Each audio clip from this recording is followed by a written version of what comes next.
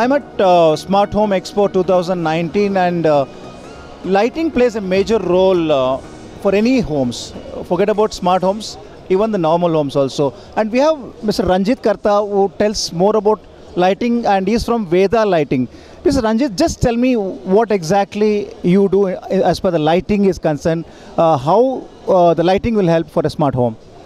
Yeah, uh, so uh, we are lighting design consultants and uh, we do lighting design. Uh, we, we design uh, the, uh, the lighting for every space, uh, be it hospitals, hotels, resorts, homes, and all the spaces. So I think the see any real estate space needs lighting, and like you would design, say, your carpets and uh, lighting also has to be thought through in detail. Uh, all these years, uh, you just had an electrical consultant probably who just arrange your lights in a 3 by 3 grid, and there you have light. Nobody really thought about uh, lighting beyond illumination. And also the other thing is also the energy consumed. So you also help in terms of save the uh, you know uh, uh, cost on the electricity bills. That's also one part of uh, the smart lighting. Right? How do you uh, help uh, the consumers uh, uh, to uh, save the cost? Yeah, see, in today's context, nobody really talks too much about energy efficiency when it comes to lighting because uh, I don't say that you don't use it, but because today uh, already you are using the most efficient light source, LEDs. Now, uh, when it comes to smart home, people want dynamism. See, they're not very much bothered but they're going to say one watt or two watts or whatever wattage is. So they want color. So as I said, you know, people have become more sensitive to about the mood creation. Yeah, it's not about just white light. So they want cool color in the morning. They want warmer tones in the evening before they go to bed. Uh, when there's a guest home, they want blue color or magenta color.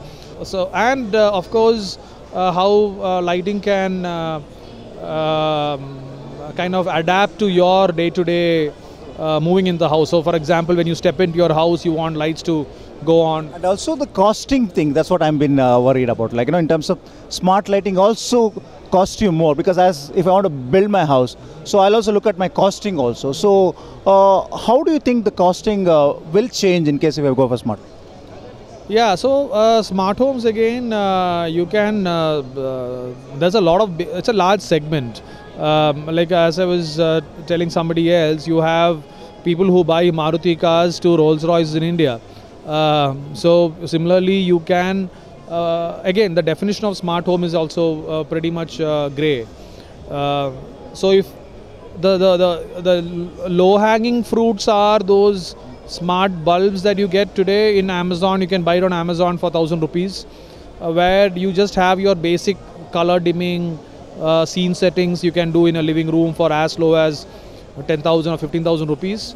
Uh, to more sophisticated systems for luxury homes where you want to connect your entire um, automation uh, with your multimedia security and giving everything under single control which can go up to even um, you know 300 rupees a square feet um, so you have the entire gamut of products available today. So uh, it's for uh, the customer also to figure out uh, at what space he wants to get in. Uh, now even wireless you have wireless cameras as well. So uh, so some people value uh, So you mean to say that it all depends on what kind of lighting you opt for it, right? And thanks Ranjith Kartha for speaking, and we'll see that Ranjith Kartha will help design a lot of Uh, houses with smart lighting. Thank you very much.